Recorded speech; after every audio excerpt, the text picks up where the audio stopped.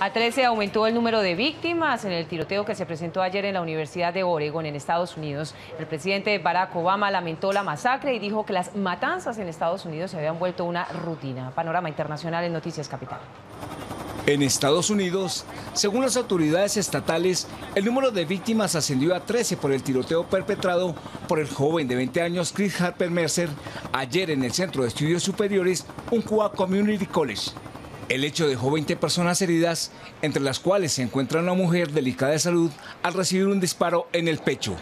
El presidente Barack Obama lamentó lo sucedido en la Universidad de Oregón y dijo que estas matanzas se están convirtiendo en una rutina.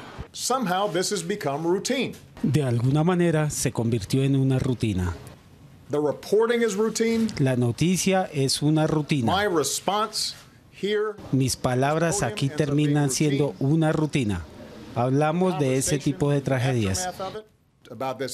Desde Colombian, Blaster, Tucson, Newton, Oregon, Charleston.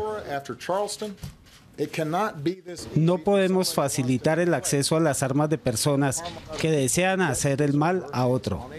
Obama hizo un llamado al Congreso a discutir una legislación sobre el control de armas de fuego en su país. En Perú, Chamanes acompañados de la imagen del divino niño Jesús piden protección a los espíritus para que los salve de los fenómenos climáticos como el niño, que podría traer fuertes lluvias e inundaciones al vecino país a principios de 2016. Hoy día los chamanes del Perú también estamos preocupados.